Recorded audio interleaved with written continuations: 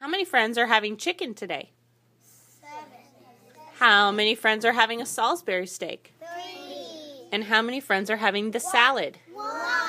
All right, kindergarten friends, I'm wondering how many friends in all are eating school lunch today? I'll give you a minute to think about it. This is mental math. Friendly, how did you solve it?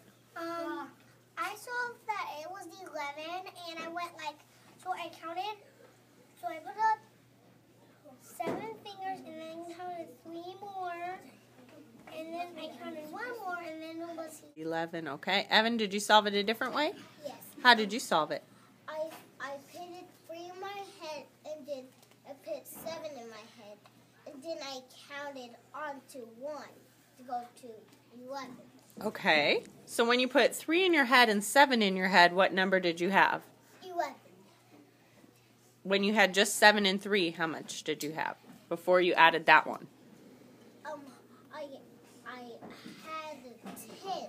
Okay. And then when I counted one more, it equaled 11. All right. So you made a group of 10.